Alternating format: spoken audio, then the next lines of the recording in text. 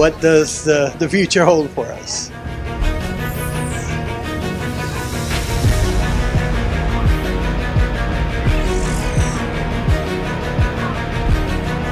Well, I think this has uh, probably been a very anticipated event.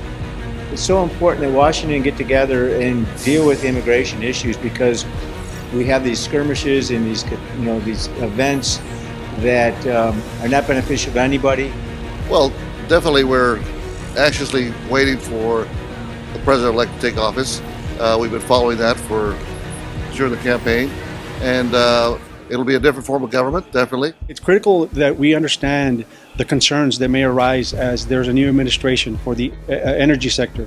Uncertainty will also add in place a burden on our investors, uh, uh, placing their funds, their investment on hold versus investment as we ensure that uh, we as our partners ensure that they continue to invest, there needs to be certainty. So there are concerns. Well, you know, there's a lot of changes that are happening. And so I think some of the fear is that people just don't know. And so the fact that we were able to bring somebody down and to try to lay things down in a very strategic way and empower them with information, I think that lessens the fear a little bit so they're more clear about what they think they need to do. Uh, I think Duncan Wood uh, tells it exactly how he sees it, and he, he does not. Uh, it was an impressive presentation because he doesn't choose sides. He just tells you the way he believes it to be. And I think that one of the things that we've got to deal with over the next uh, few months is to say, well, what does this mean for Mexican democracy? What does it mean for Mexican federalism?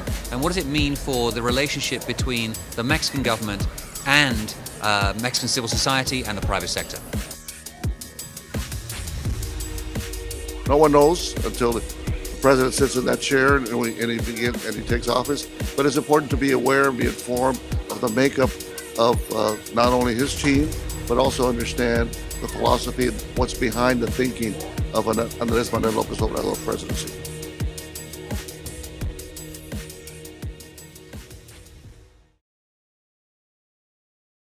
We're at a very, very interesting inflection point in Mexican history.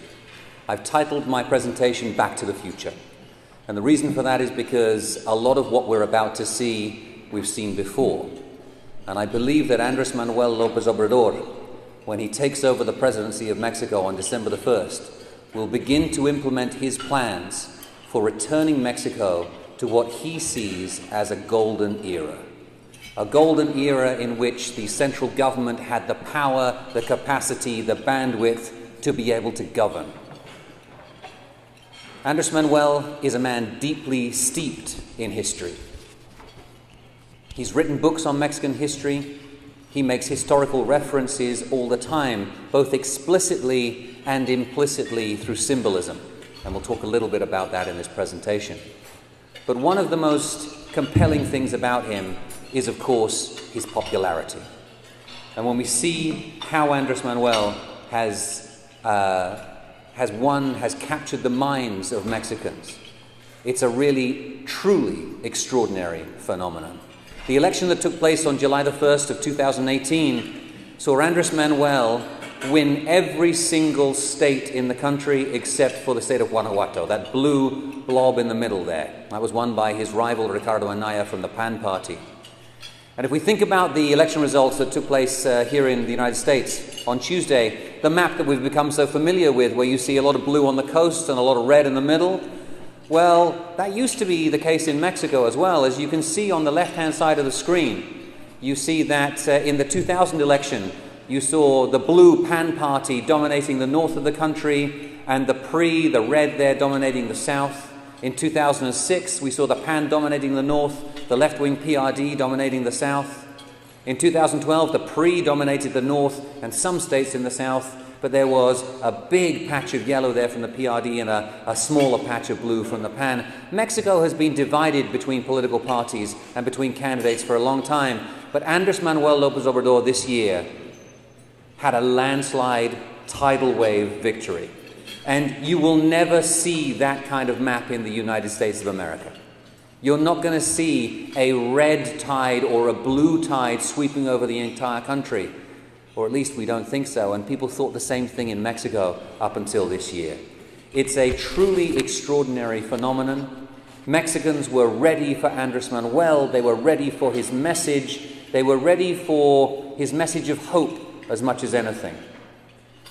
And they were also ready to kick out the guys who, in their opinion, had done such a bad job. There was disenchantment, disillusionment with the PRI and the PAN. And to give you a better idea of how dramatic this victory was, Andres Manuel won with 53% of the popular vote. No other president in modern democratic history in Mexico has achieved that kind of result. 53% of Mexicans voted for him. At a certain point in the campaign, there was discussion about one of the rival candidates dropping out so that his votes could go to the other guy. It wouldn't have made any difference. Andres Manuel had an absolute majority of the votes. This gives him an enormous legitimacy. It means that he will have an extended honeymoon period. It means that this tidal wave of power, of support for him in the country, gives him nationwide legitimacy. Everybody voted for Andres Manuel. And if that wasn't enough, he controls the Congress. Both chambers of Congress, he won very strong majorities. And in fact, since the election, he's managed to pull together a coalition, which means that he has a supermajority in the Chamber of Deputies. And in the Senate, he's very, very close to having a supermajority, something that he can probably negotiate with those senators that he needs to vote for him.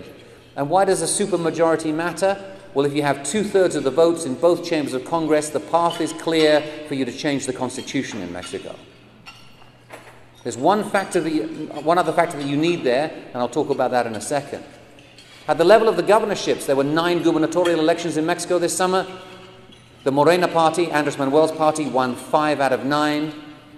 This was the first time they've won governorships, and over the next three years, they're going to win more. And my prediction is that by 2021, Andres Manuel's party, the Morena party, will control a majority of the state governorships. One factor, one element that people don't really discuss very much in Mexico is the state level legislatures because people think they're not that important because the governors have really been the dominant figures at the local level. But the state legislators matter because if you have a majority of the state legislators, that's the factor that you need alongside the supermajority in both chambers of Congress to be able to change the Constitution. Andres Manuel and his party won 19 out of 32. In other words, there is no obstacle to Andres Manuel changing the Mexican Constitution, doing whatever he wants to do. And that has a lot of people rather worried in Mexico. Has a lot of people who have worked incredibly hard for the energy reform, who worked incredibly hard for the education reform, who worked incredibly hard for fiscal reform. They're now deeply worried that the keys to the kingdom are in Andres Manuel's hands and nobody can take them away from him for the next six years. What does he want to do with all of this power that he's accumulated? Well, he calls it La Cuarta Transformación de Mexico, the fourth transformation of Mexico. As I said before, Andres Manuel is a man deeply steeped in Mexican history, and he sees that Mexico has gone through three fundamental transformations as a country. The first of those was the, revol- uh, sorry, was the independence movement back in the early 19th century. Then, in the middle of the 19th century, there was the reform period. In the early 20th century, there was the Mexican Revolution. And Andres Manuel believes that Mexico right now is in a period very similar to the revolution of the early 20th century. It's a country that's torn apart by violence. It's a country that is divided by inequality. It's a country which has become ungovernable. And Andres Manuel wants to govern, he wants to create the institutions, the mechanisms of governance. The fourth transformation is an idea which greatly concerns a lot of people because it suggests a radical change in the country. Andres Manuel has said that we have also said that uh, we are going to achieve this transformation without violence in a peaceful manner. And he's already done that through winning a democratic election in July of this year. We've said that it's going to be an orderly transformation, but it's going to be deep and it's going to be radical. And that last word, radical, is one of those words that Andres Manuel likes to use and which makes a lot of people extremely nervous. He has power, but one of the most important mechanisms that he is using right now to achieve this fourth transformation is his political party, the Morena Party. Morena stands for the Movement for National Regeneration.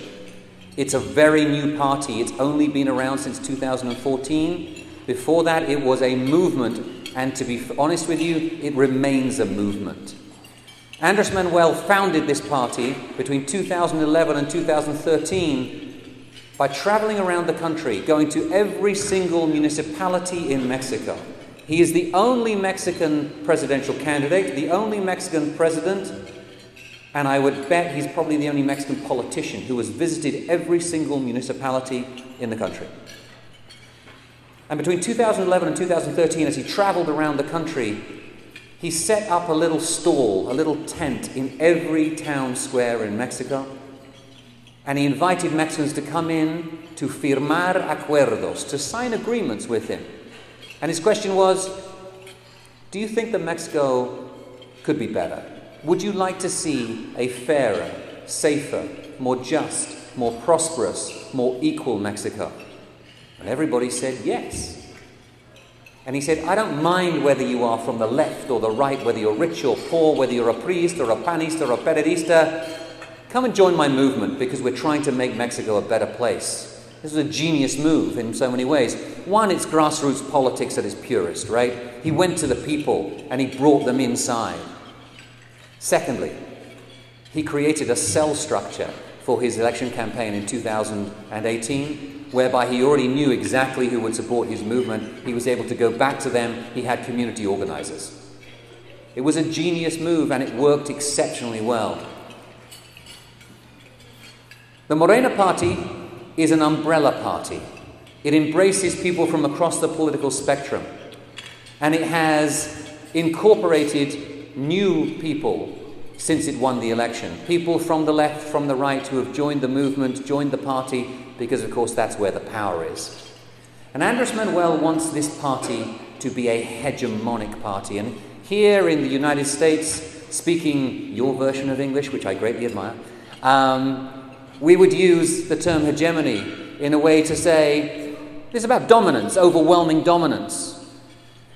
But Andres Manuel comes from left wing roots. And in the left wing movements in Mexico and around the world, that's not the understanding of hegemony that they have.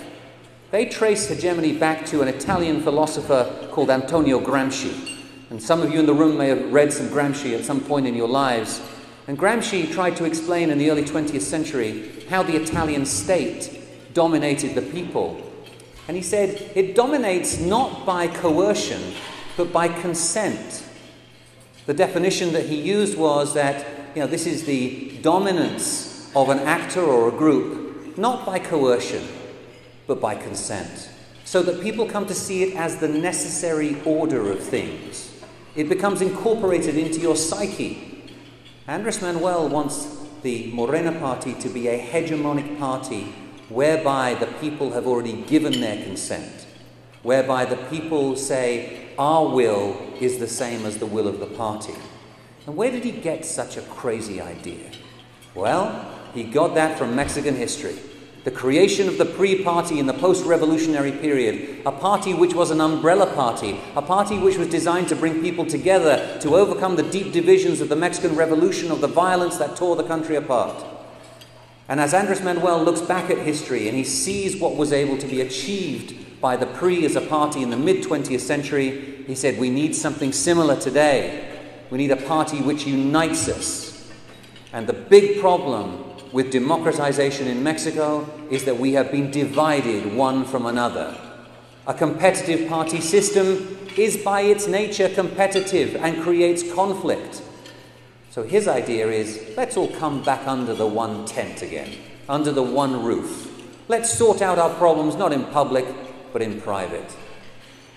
The PRI is the model, and that's why some people have said the fourth transformation is not really the fourth transformation of Mexico, but in fact is the fourth transformation of the party structure in Mexico. Post revolution, you had a party created called the PRM, which transformed into the PNR, which transformed into the PRI, and now has been transformed into the Morena party. Now, The PRI party still exists. It's greatly weakened. They have minimal representation in the National Congress. They still have a large number of governorships, but my prediction is they will lose control of those governorships over the next couple of years. Morena does stand in a truly dominant position in Mexico's party politics at this point in time. So, what does Andres Manuel want to do with all of this power? He wants the fourth transformation? Yes. But what does that actually mean? One of the most important and poignant moments of election night, and I was lucky enough to be in the Zocalo watching Andres Manuel that night on July 1st. One of the most poignant moments was when he got up onto the stage, and in between the screams of support from the Mexican people who were there, around 100,000 Mexicans gathered in the Zocalo, the world's second largest square after Red Square, he stood up there and he said, I want to be a good president. Quiero ser un buen presidente. And I truly believe that Andres Manuel wants to be a good president. In fact, I think he wants to be a great president. He wants to go down in history as one of the great presidents. And why do I believe that? Because of all of the historical references that he makes. He makes references to Benito Juarez. He makes references to Francisco Madero. He makes references to Lázaro Cárdenas. These are his historical heroes. And he wants to be in the pantheon of great Mexican leaders which means that he wants to leave behind a legacy. This is not about a six year term.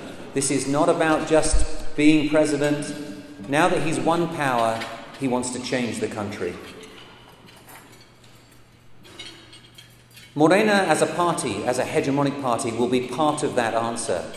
But in the short term, during his presidency, he sees that he has one priority, and that priority is to centralize power as much as possible.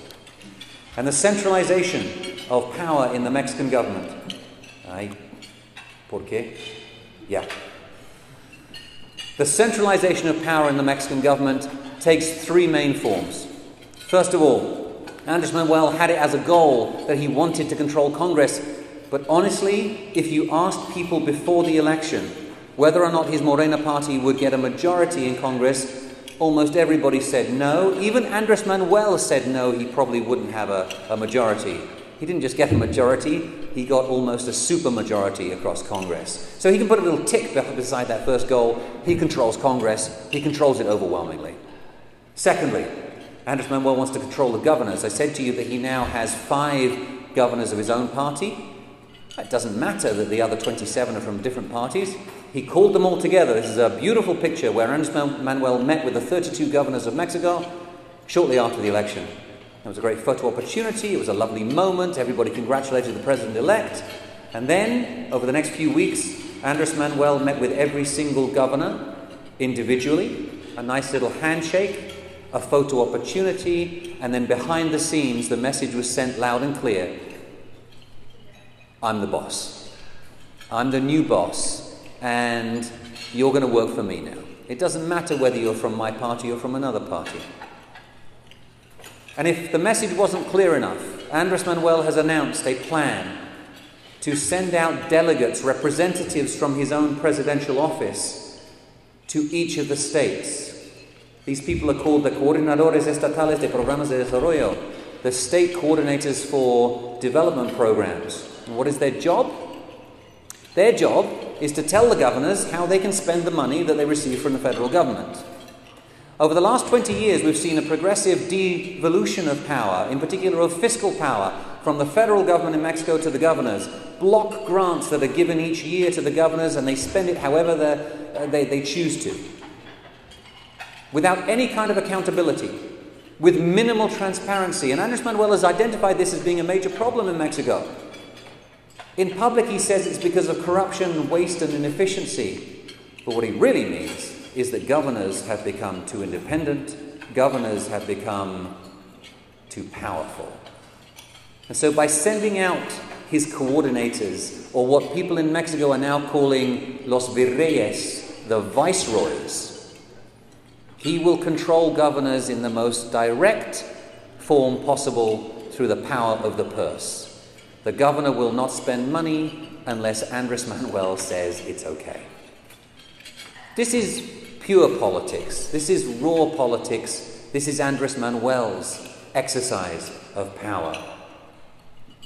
Lastly, Andres Manuel has announced a very ambitious plan for controlling Mexico's public service. He calls it a program of austeridad republicana, Republican austerity. And he justifies it by saying that we are going to cut government spending by cutting the salaries of the high level officials in Mexican government. First of all, he announced that he would cut 70% of the positions held by altos funcionarios de confianza, the high level political appointees. So they're now gone, 70% of them. He then said that he's going to cut salaries. Early on, he announced that he would uh, cut the salary of the presidency in half already. Andres Manuel is going to make around $5,000 a month as president.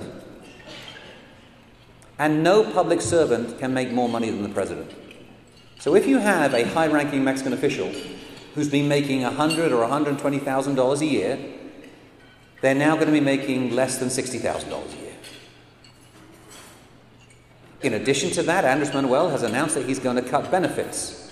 No private health insurance anymore for government officials. No nice little perks like a cell phone or a driver. If you were working in the Mexican public service and your salary got slashed in that way, what would you do? Well, it depends on your financial situation, I guess, but you're probably going to start looking for work somewhere else. And if that wasn't enough, he's announced another plan, which he calls the decentralization of government, which goes contradictory to what I've said here, but it's really not decentralization. A better term is the relocation of government. He's announced that federal government agencies will be moved from Mexico City to different states of the Republic. The Energy Ministry will move from Mexico City to the state of Tabasco, because that's where energy happens. The National Migration Institute will be moved from Mexico City to Tijuana. Why does this matter? Imagine you work in the Mexican public service and you're quite happy living in Mexico City because that's where a lot of the services are and great infrastructure, and all of a sudden you're told you have to move to Tabasco. Well, maybe you say, fine, I need to keep my job, I'll do it. But you're not going to be happy. But what if you work in the energy ministry and your spouse works in the Migration Institute. And all of a sudden, you're going to be in Tabasco and your spouse is going to be in Tijuana. Where do the kids go? As I like to say, there are some couples who would see this as a dream solution to their marital problems. But if you're happily married and if you are a traditional Mexican family, that's probably not going to fly. Your salary's been cut, your benefits have been cut, and now you have to live in another city, potentially on the other end of the country from your spouse. This is a real challenge. And you might be thinking, why would he want to attack the public service? Why would he want to attack the very people he's going to need to implement his policies? Well, Andres Manuel believes that the Mexican public service will pose a resistance to him. In the United States, the term deep state has become popular. He doesn't use that terminology, but it's kind of how he thinks. He sees that the Mexican bureaucracy is full of technocrats, people who are committed to the neoliberal program of the last 25 to 30 years. He'd like to clear them out. And this is one way of doing it, a rather brutal way of doing it. But of course, if you were truly loyal to Mexico, then wouldn't you stay? The money isn't important. His advisors have come out publicly and said, this is a matter of morality. When we have 50 million people living in poverty in Mexico, we can't afford to have high salaries in government. Well, maybe you can't afford not to have high salaries in government because those people are going to leave now. But how will Mexican government function? Well, over the next couple of years, a new cadre of Mexican functionaries, public servants, is going to be created. The Morena party has created its own school for Morenistas, a university which is in part training people to be public servants, and in part it's an indoctrination program into the principles of the party. This sounds very ominous. Every political party in Mexico has these kind of things, but they've never said that this is to train people for public service. So, what I think is going to happen here is you're going to see a cleaning out of some of the most important agencies in the Mexican government, in particular the Treasury, the Economy Secretariat, the central bank. People are already leaving from the central bank, and within a couple of years, a new group of functionaries will come in. This doesn't just matter for Andres Manuel's presidential term, it matters long term for Mexico. The people who come in to replace those who are leaving will be there for the next 20 years. This is a long term legacy. This is about leaving a mark far beyond six years. If we begin to look at who Andres Manuel is going to work with in his cabinet, it's a mixed picture. I always try to be as balanced as possible, but if you look at the economic team, it's actually a very good economic team. You have people like Carlos Urzúa, who is going to be the uh, Secretary of the Treasury. You have people like Graciela Marquez, who is the Secretary of the Economy. Jesus Seade, who was his chief NAFTA negotiator. These are all very reasonable people. They follow orthodox economic principles. They are slightly to the left of center, no doubt. But they understand the importance of issues like an independent central bank,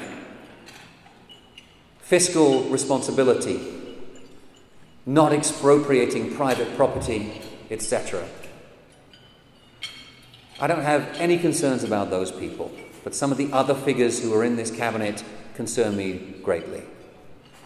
For example, the person who is being put in charge of the Secretaría de Función Pública, which is the uh, government agency which deals with governmental corruption, is somebody who is an ardent, radical follower of Andres Manuel for many, many years, is an anti establishment academic who believes that the system is rotten and she's going to chase it down and eliminate all of the corruption that's in there. Not that there's anything wrong with that, that should happen. But the fact is, she has a personal axe to grind with many of the people who have been in power over the last 20 years or so.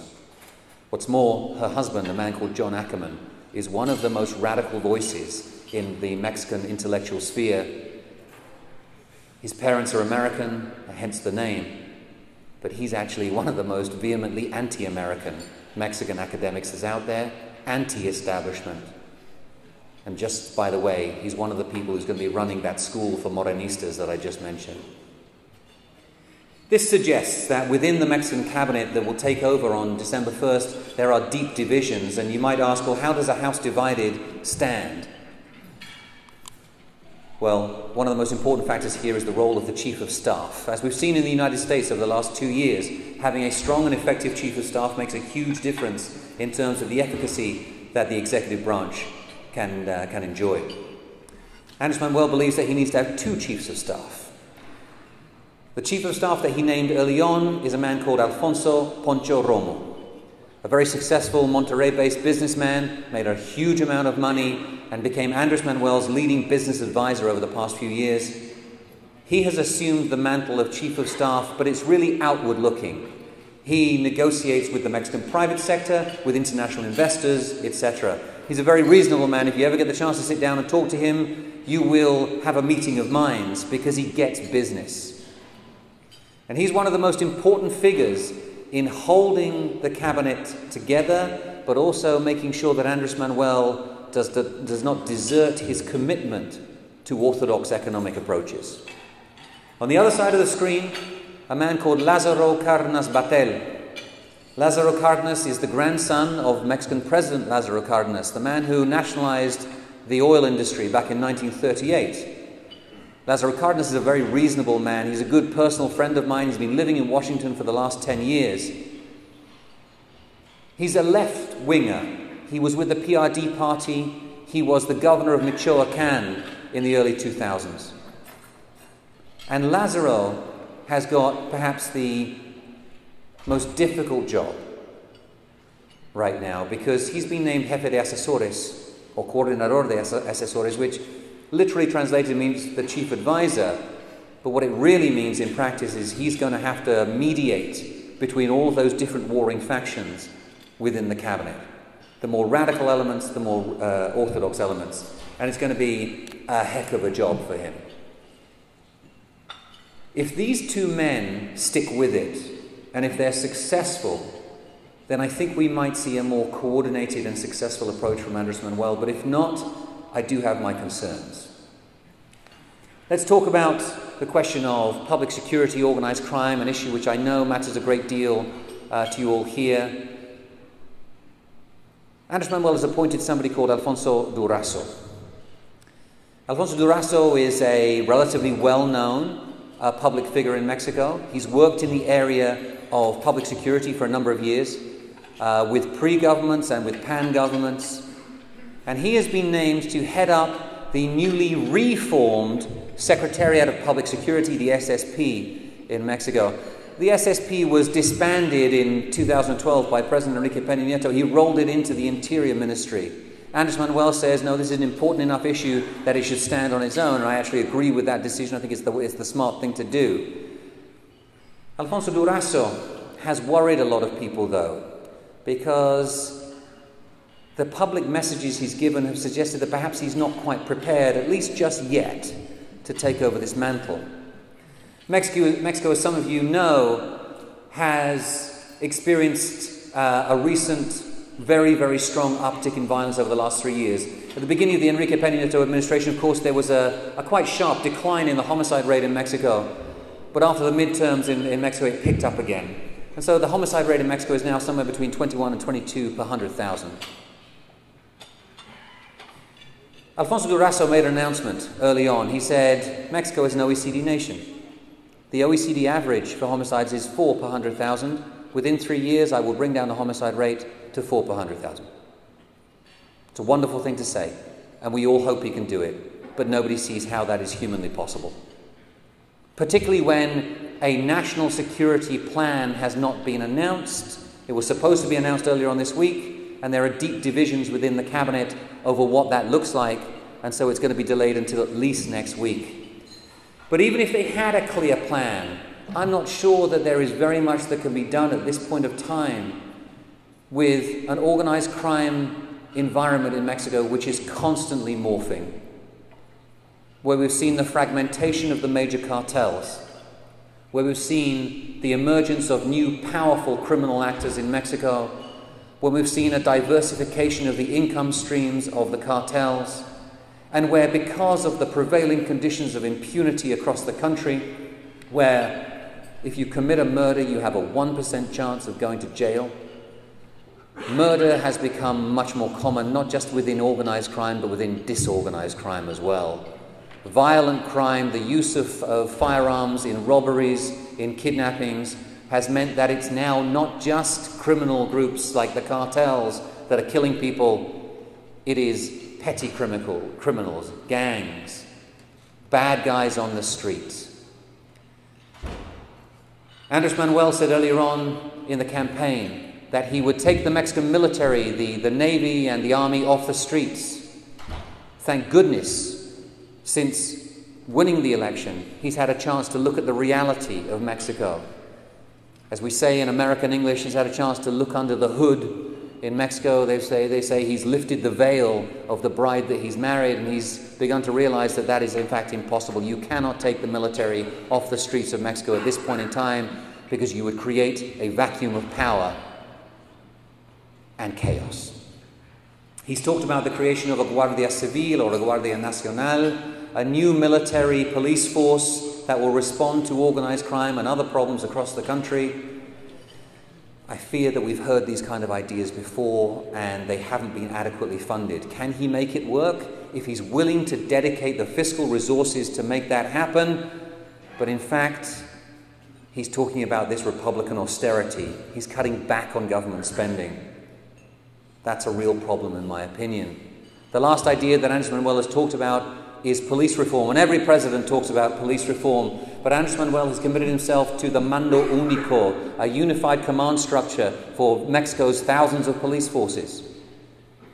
Maybe even uniting municipal police forces into state police forces. As I said, other presidents have tried to do this, and they've always failed. Andres Manuel might just be able to pull this off. He controls the Congress and he controls the governors. So if he wants to, he can make this happen. The big question is is that the solution to the problem that faces him? I've talked already about his economic program, but let me just uh, point out this man on the screen, Carlos Urzúa. He's a good guy. He's a very smart Mexican intellectual, an academic from the Colegio de Mexico. He interacts well with investors. He sends the right message. When I got the chance to host him at the Wilson Center earlier on this year and to talk privately with him afterwards, he said that his number one job during the election campaign was to reassure investors that Andres Manuel was not going to destroy the economy. And the day after the election, on July 2nd, he held a conference call with investors in which he laid out the orthodox economic policies of the government. But he didn't really talk so much about the more populist elements of economic policy that Andres Manuel has espoused. In particular, economic nationalism. Andres Manuel does not want to import food from overseas. He wants Mexico to be independent in food production. Those of you who live in McAllen should understand how important those food exports are from the United States to Mexico. Now, this is not something you can achieve overnight. You just don't suddenly create food production in Mexico, but that's his long term goal. Andres Manuel has also talked about not being energy dependent on the United States, would like to stop importing natural gas from the US, would like to stop importing refined products from the United States. The slogan that is used within the Morena party is Vamos a producir. We are going to produce, and they want to produce in Mexico. Other populist elements focus on increasing old age pensions, in providing free university education, and in providing a monthly allowance to the ninis, los que ni trabajan ni estudian, those who neither study nor work. Young people, sort of between the age of 18 and 25, who would be eligible for a monthly pension of around 3,000 pesos, $150 a month. Andres Manuel says this is to keep them out of the hands of organized crime. They need to have some money. If my employer decides to pay me $150 a month from this point on, I'm turning to organized crime. In fact, it'll be disorganized because I'm terribly disorganized. I'm an absent minded professor, but it will be crime nonetheless. I cannot support my lavish lifestyle on $150 a, a month. One big problem that comes out of these more populist elements is how are they all going to be financed? Andres Manuel has, uh, has said that the answer to that is eliminating corruption. By eliminating corruption, he will find this magic treasure chest which has been hidden away for so many years. I've had conversations with some people in his team who say, You don't understand, Duncan. There are billion dollar pots of money left, right, and center that the current government has been hiding. And I say, Well, why haven't they either stolen it or spent it. That's what governments do, isn't it? And they say, no, no, no, you don't understand. They've got it, they've got it saved away for a rainy day. I'm like, okay. They've been looking for the money, they haven't found it so far. And they've begun to scale back their predictions in terms of how much money they will save by fighting corruption. It used to be that they would save 220 billion pesos. Now they're saying, well, no, we're not going to save that much, and it's not all going to come from fighting corruption. It's going to be by reducing inefficiency and waste, and uh, that's fine. But are you going to be able to find this money? That's what I want to know. And I don't see any evidence that they really can find that money. But this leads to a question. If there are fundamental flaws in his economic program, does Andres Manuel really care about the economy? And we have recent and compelling evidence that perhaps it's not his priority. And that is because of what happened in the Consulta Pública or public referendum about Mexico's new international airport project. Seen here on the screen, this beautiful design by a British architect, Norman Foster. I flew over it the other day and it looks exactly like that. Built in the middle of what remains of Lake Texcoco. Andres Manuel said this is a terrible project. It's environmentally damaging. The poor little patitos, the ducks that live there, won't have a home anymore. Well, they don't have a home anymore, Andres Manuel, because it's already been built, basically. The runways are in, at least the foundations are there. But he says it's also been a den of iniquity, a nest of corruption, and we need to cancel it. It's not the best thing for Mexico City, and I have an idea to develop other airports that will be much better for Mexico City. He said, but this is a $13 billion project, Andres Manuel, and between 3 and $4 billion have already been spent and people have contracts which you have to honor and you're going to have to pay them off if you cancel those contracts. I don't care about that. We've got the money and we will compensate them. The private sector doesn't need to worry about that. He said, well, that's one problem. But the other big problem is what does that say to international investors and national investors about how you're going to run the economy? Andres Manuel then said, So we'll ask the Mexican public. We'll have a consulta pública. Let's ask the people what they think because the people are wise. The people aren't tonto. And so he conducted his consulta pública, his referendum. There were a million ballots cast in that referendum. Strangely enough, only 500,000 ballots were printed, but that's fine. They set up tables in town squares in strategically chosen parts of Mexico where they would ask people, What do you think, yes or no? Now, in public opinion polls that have been taken before the Consulta Pública, people were asked, Do you think we should continue with the existing airport project or should we abandon it to do something else?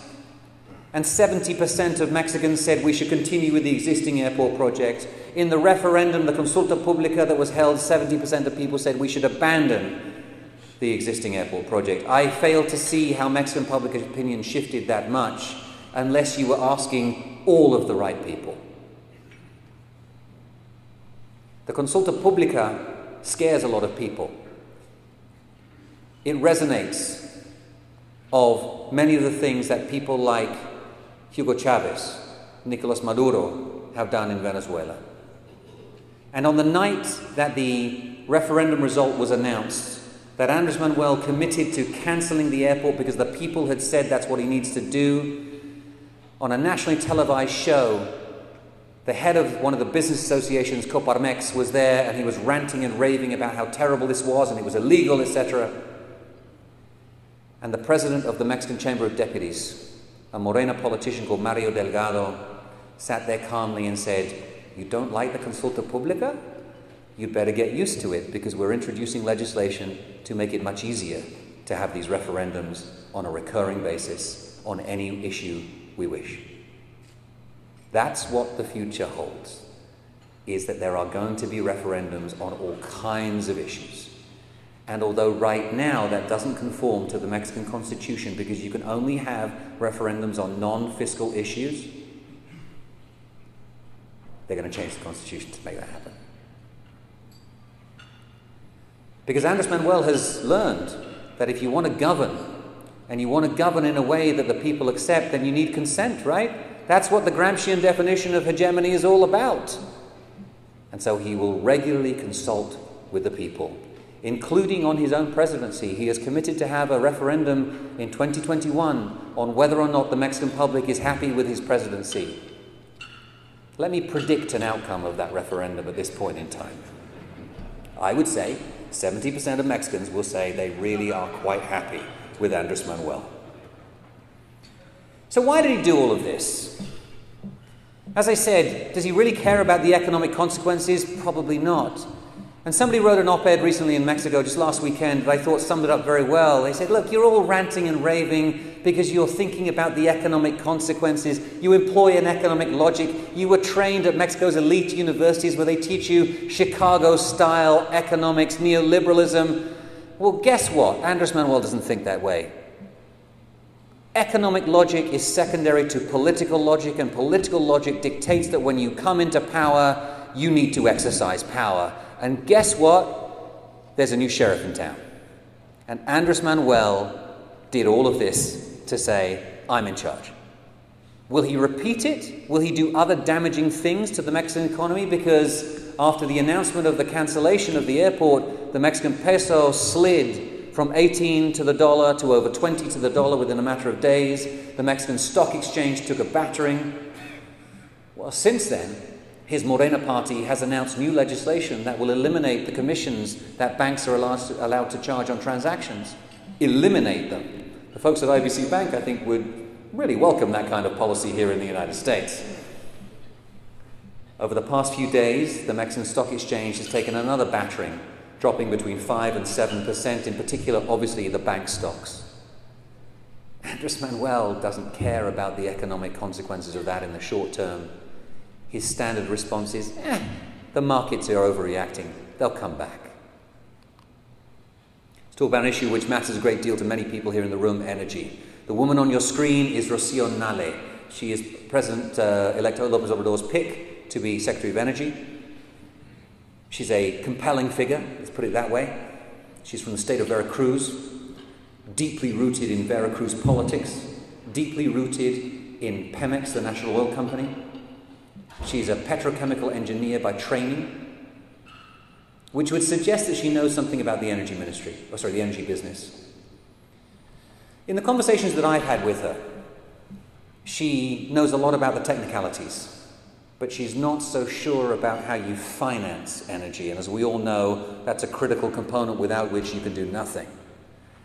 She's a bit, little bit fuzzy on timelines in energy. She believes that you can raise Mexican oil production from its current position around 1.8 million barrels a day up to 2.5 million barrels a day within two years. It's physically, humanly impossible to do that, but she convinced Andres Manuel that it was possible, and he made a major public announcement along those lines. She believes that you can build a new refinery in three years, and the response is, well, yeah, you can. If you begin the three year period after you've got all the permitting, and if you've got the land, and you've already prepared the foundations and all the other things, and you've got the right construction company, but you're not going to build a, a new refinery, which is one of her pet projects.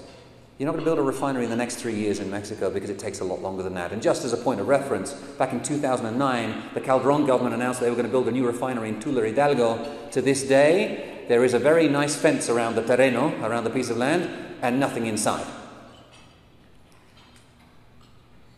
More worrying than the fact that she doesn't seem to have a clear grasp of the fundamentals of the energy business is the people that she has appointed to run key agencies her undersecretary, for example, and there will only be one undersecretary of energy, unlike the three that we have right now, only be one undersecretary of energy in the new government, and his name is Alberto Montoya. He's a radical figure from the Morena party.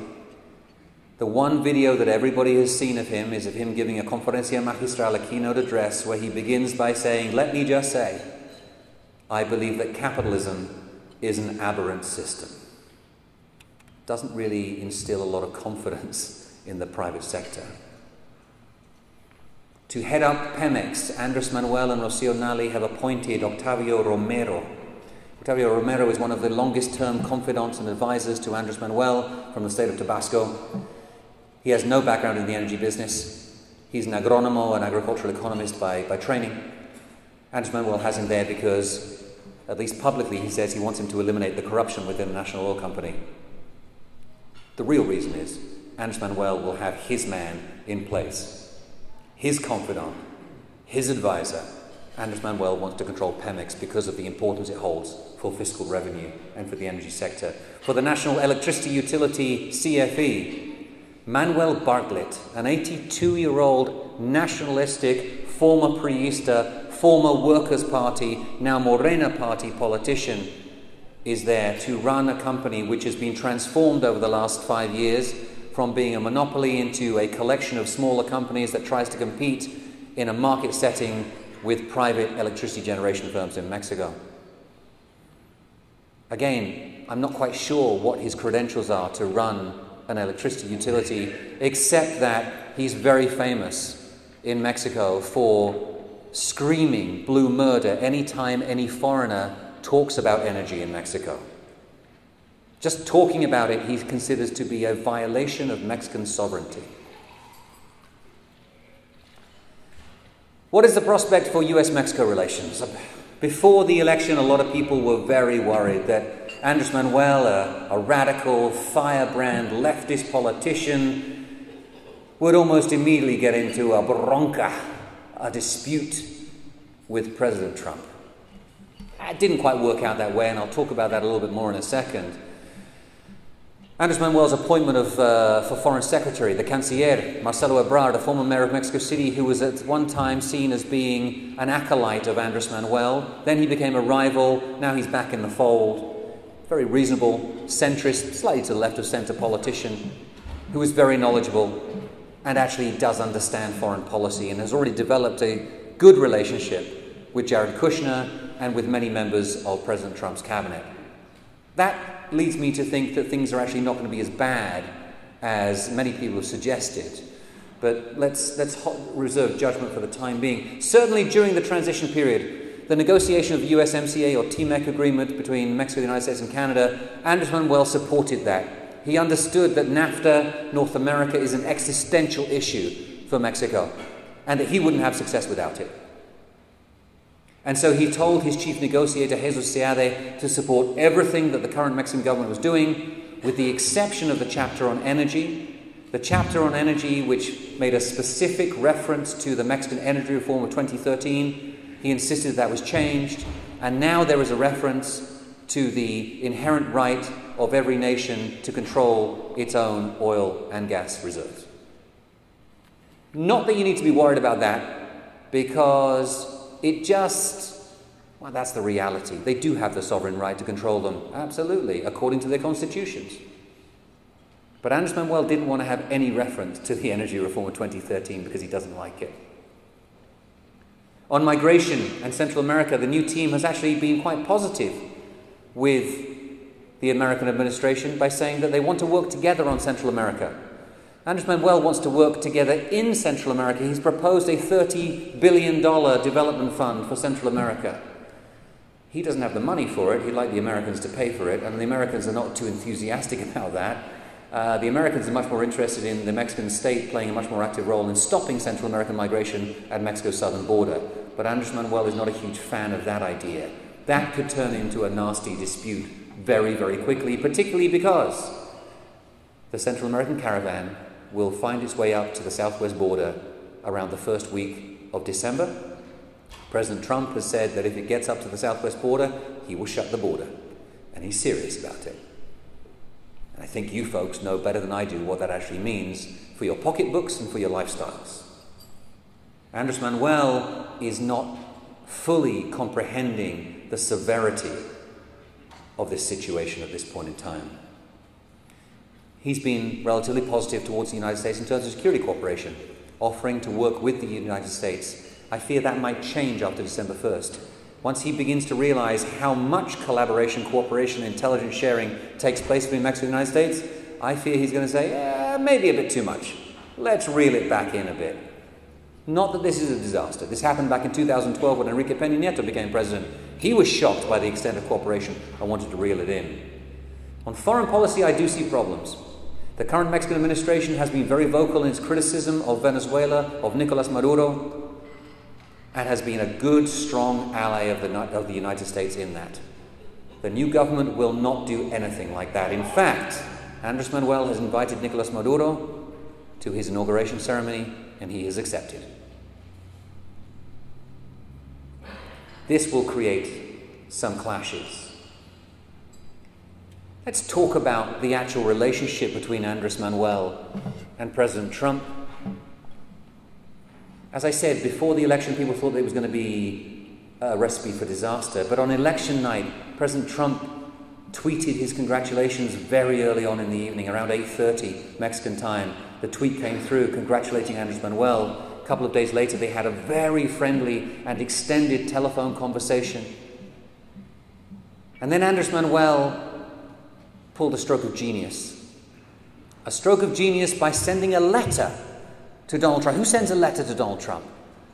A seven page letter, which of course he was never going to read, including details about his economic plan for Mexico, about how he wanted to plant millions of trees in southern Mexico. But the key line in that letter was where Andres Manuel says, You and I have both fought against the establishment our entire lives. It was a way to connect the two men on an emotional level. And Donald Trump responded with a one page letter that ended I would be, it would make me very happy if Mexico is a prosperous and successful country. That's exactly what Andres Manuel wanted to have. Not the content of the letter, he wanted a letter in response. And you know why? His big hero, as I said earlier on, is Benito Juarez. Benito Juarez had extensive correspondence, written correspondence with Abraham Lincoln. And Andres Manuel is looking back at history and says, if, I, if Benito is my role model, I want to pursue the same kind of diplomacy, and it's 19th century diplomacy with President Trump. It works for him, it kind of works for Donald Trump as well. Is this then going to be a bromance? Are these guys going to be besties, BFFs forever? The problem is, is there are too many issues over which they can clash. Migration, Central American caravan being the first of those, security cooperation, foreign policy, independence in food production, energy imports into Mexico, there is an ample array of issues there over which they can clash. I do believe that Andres Manuel wants to avoid that clash at all costs because he doesn't want to focus on the bilateral relationship. He wants to focus internally on his fourth transformation of the country. He wants to make sure that Mexico is remodeled according to his plan.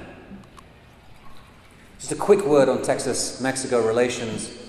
This chart uh, shows you everything, right? That Mexico is far and away the biggest recipient of Texas's exports. We know how much Mexico matters to the United States, and we know how much it matters to Texas, and we know how much it matters to McAllen. But it's not just the economy. Of course, there's energy, and those rather daunting plans for the energy sector will impact upon places like McAllen.